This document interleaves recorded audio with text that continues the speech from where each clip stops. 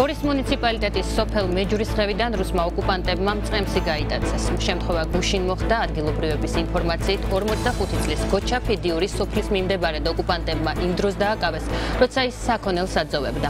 წემსი სავარაუდოდ ცხინვალის დააკავების იზოლატორშია გადაყვანილი მას ბრალად ეგრეთ წოდებული საზღვრის უკანონოდ გადაკვეთა ედება.